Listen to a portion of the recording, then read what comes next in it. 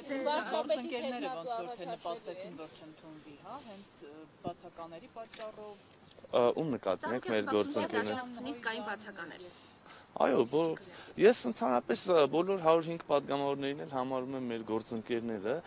Ես միևնույնն է լիահույս եմ, որ բոլոր 105 падգամավորների եւ նրանց ներկայացրած քաղաքական ուժերի մեջ ի վերջո